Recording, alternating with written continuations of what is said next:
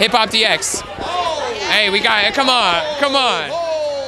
Come on, hey, hey, hey, listen. What's going on? The legend himself is here. Last year we celebrated Hip Hop 50, but what are you? No, but it's still it's, It's still, still celebration until August 11th. You Okay, guys, okay, you guys got to know what time it is. we're still celebrating. Uh, we're still celebrating. The celebration is still on. It- Still on. Still on. Who, who, hey, let's go.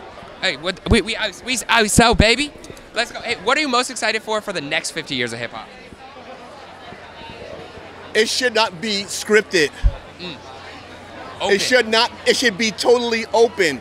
Because when we did this 50 years ago, it was totally open. We didn't have an idea what this thing was going to do. This was mom saying, "Go outside and play. Go do something with yourself. Finish your chores. Finish your homework. There was and no go blueprint. outside and play." And then going outside and play, I came up with this DJ technique. Just a that little made technique. the DJs juggernaut.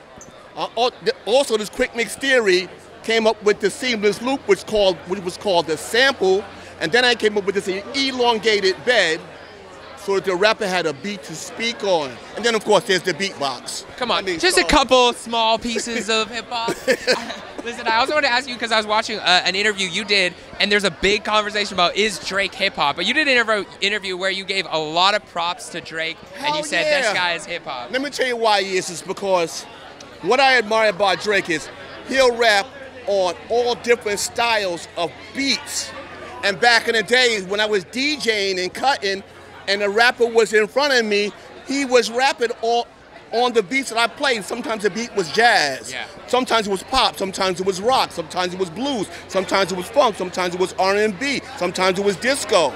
So I think the kaleidoscope of music that he's doing in his style is absolutely excellent. This is why he's so big. Yeah. Because he's not just staying on one particular style of beat.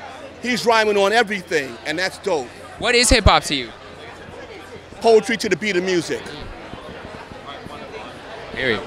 But the both work hand in hand. That's what makes it really important. Well, you are you are hip hop, if if anything is, and we appreciate everything you've contributed, everything you. you continue to contribute. Thank you.